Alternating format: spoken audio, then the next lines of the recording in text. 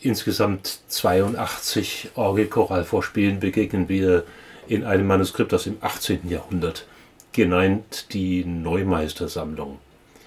Die Sammlung war lange Zeit unbekannt geblieben und landete nach mehrfachem Besitzerwechsel eines Tages in der Yale University. Dort wurde sie 1984 entdeckt. Besonders spannend, 31 Werke darin wurden Johann Sebastian Bach zugeschrieben. Eine echte Sensation.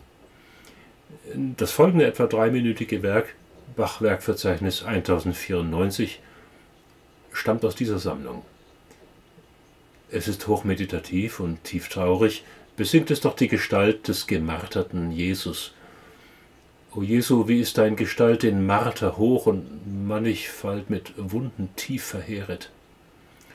Die Choralmelodie liegt im Sopran und wird mit zwei Manualstimmen bzw. der Bass- oder Pedalstimme harmonisch untermalt. Die Melodie geht zurück auf Melchior Frank, ein Komponist des 16. Jahrhunderts. In der folgenden Einspielung aus dem Jahr 2021 ist zur leichteren Orientierung die Choralstimme in der mitlaufenden Partitur rot eingefärbt